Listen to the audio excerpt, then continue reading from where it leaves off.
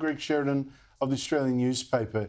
Greg, one frightening thing about this attack is that the Russian media was going soft, obviously, on instructions, uh, barely mentioning that this idea that they were, they were um, from the Islamic State or something, going harder on the Ukraine angle with uh, uh, Vladimir Putin, the president, giving national address suggesting they were fleeing to Ukraine, they were caught and they were implicated somehow. What do you make of all this? Well, Andrew, it's a fascinating and tragic and uh, bloody business. Uh, Putin has a long history of using Islamist attacks to justify his own strategic moves. I mean, that justified his assault on Chechnya.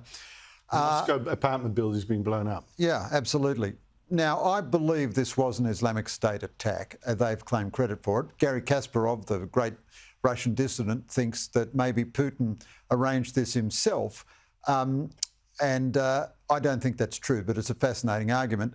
However, the fact that he, he won't say it's an Islamic State attack and is trying to blame it on Ukraine, as if Ukraine would employ four Muslim terrorists to kill uh, Russian civilians in a Moscow theatre. It's the most implausible thing you could imagine. But Putin will, with his total information dominance within Russia, will convince a lot of his people that somehow or other Ukraine had a hand in this, and that will. Um, he's now declared that Russia is at war with Ukraine, and um, I think Western irresolution and weakness is giving him hope that he can prevail in Ukraine. Well, two things about that, but first of all.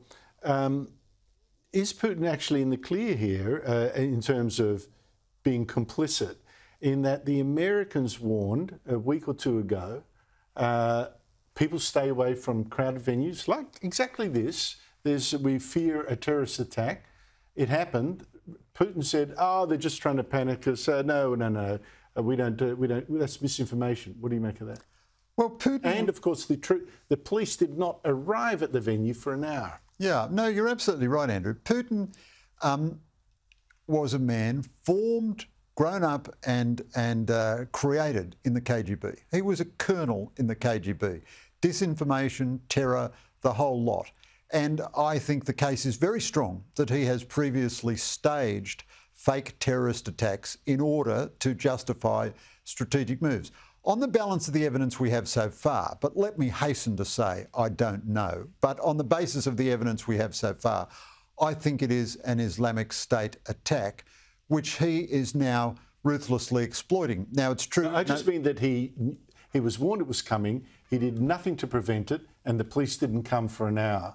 Yeah, the only the only thing I'd add, I'm I'm, I'm not ruling that line of thinking out at all, not at mm. all. The only thing I'd add, though, is the Russian ability to have a massive cock up is, is fantastic, as we saw with the initial invasion of Ukraine. So, you know, the policemen were drunk, no one was on duty, nobody answered the phone. It's not inconceivable. And then, but then Putin, of course, whether by design or by incompetence, has this mess and he will try to exploit it. I just worry that he could exploit it to do something even worse to Ukraine now, like uh, tell the oh, well, you know, nuclear weapons. God knows who knows what what he'll do.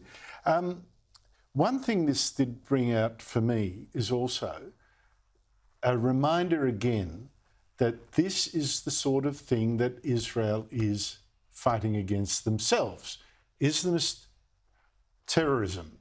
We've also seen France undergo the Bataclan theatre attack.